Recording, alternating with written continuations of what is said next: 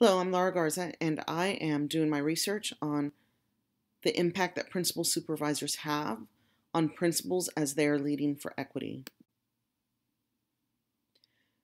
There was a principal shift to become instructional leaders, and this occurred during the 2001 No Child Left Behind Act, in which principals became responsible for student achievement at a very high uh, stress level. And principal supervisors then needed to shift in order to support their principals as they became instructional leaders. Instructional leadership, uh, we know, positively impacts student achievement. And the research that we find supports this. But as we look at our marginalized groups, we need to really start thinking through how is it that our marginalized groups can be supported through the efforts of the principal? And in return, how does that principal supervisor support that principal to help increase student, student academic achievement for our marginalized students? So, the purpose of this study is to gain a deeper understanding of how district level racial equity systems shape a principal supervisor's ability to coach and develop a principal to lead for equity. My positionality uh, personally, I'm a Latina daughter, sister, wife, and mother. I have four children. I've grown up in Dallas um, and live here in Dallas now. Throughout my education, I attended predominantly white schools. And professionally, I've worked in Dallas ISD for the last 24 years. I've always worked in Title I schools, and I have experience not just as a teacher, instructional coach, but also as an assistant principal, principal, and executive director. And I, I, I believe that the relationships that I have built with the stakeholders and the uh, employees of Dallas will help me to uh, to open up doors so that I can have uh, interviews with um, with these individuals. So, what does the literature say about the relationship of principal supervisors and principals? We're going to explore three different uh, trends that I explored principal supervisors as coaches, leadership practices with a focus on equity, and culturally relevant leadership. Principal supervisors as coaches, uh, the research shows that there's definitely this uniqueness about the relationship between a principal supervisor and the principal. One, merely because the principal supervisor still acts as an evaluator. However, they have to have a relationship in which uh, the principal feels supportive and feels that it is a relationship that has developed some trust so that they can be vulnerable enough to have real conversations um, so that they can be coached in a way that impacts student achievement. So, this relationship is also collaborative and supportive, and definitely it is a uh, situation in which the principal supervisor must act as an instructional leader as well. Leadership practices with a focus on equity. The research so far uh, indicates that leaders should receive training on culturally relevant practices, and this will align to how the leaders actually move forward in their own uh, leadership.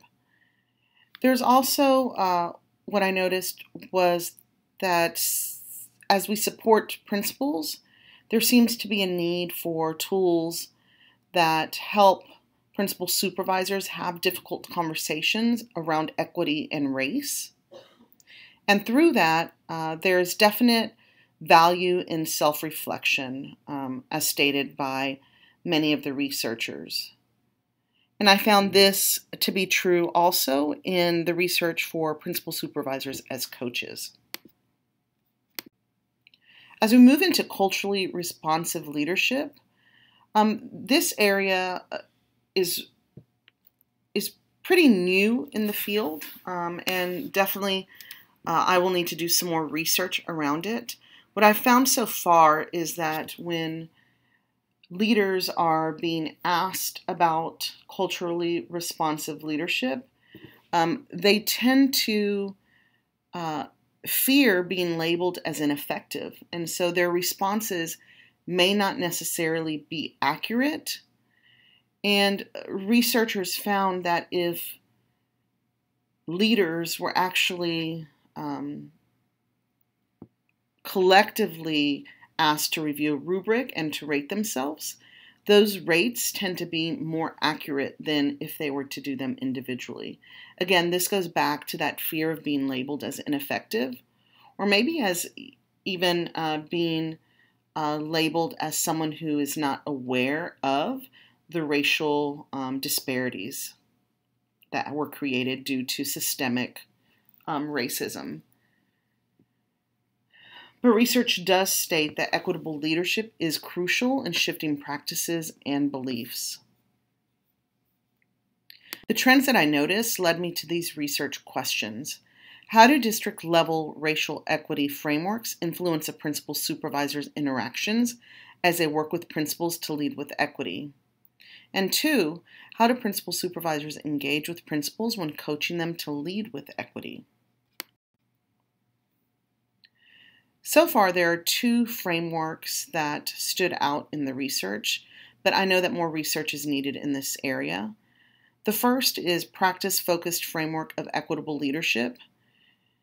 Galloway and Ishimaru created this framework to measure the proficiency of leading with equity. And they also explored the behaviors and interactions of principals and supervisors.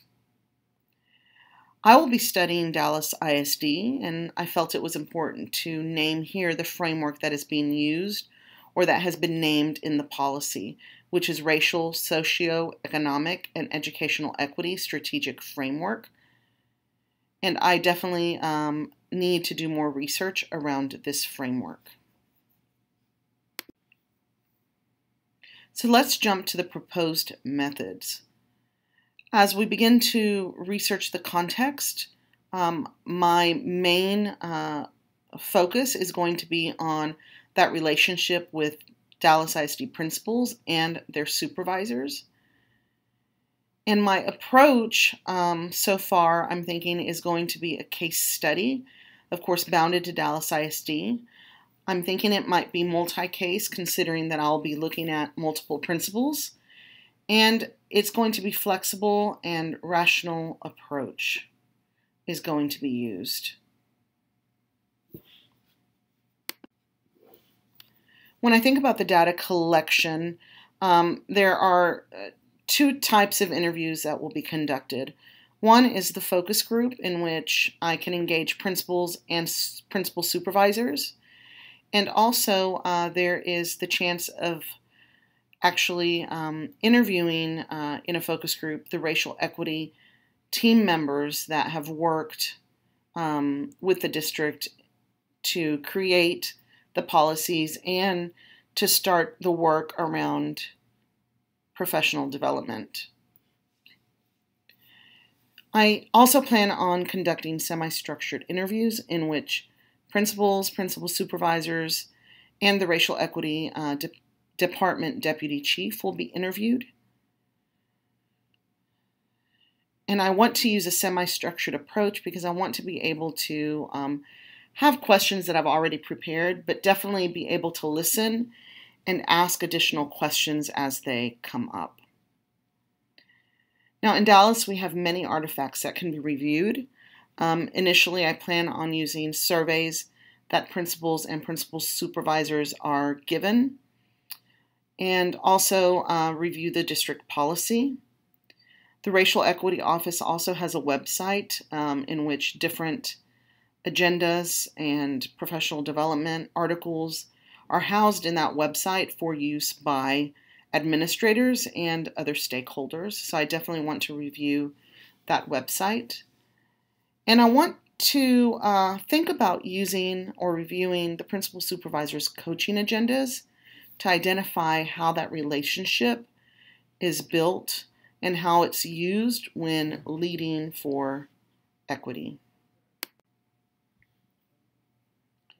The participants uh, uh selected is going to be a purpose purposive sampling, a quota sampling, and there will be a recruitment of individuals.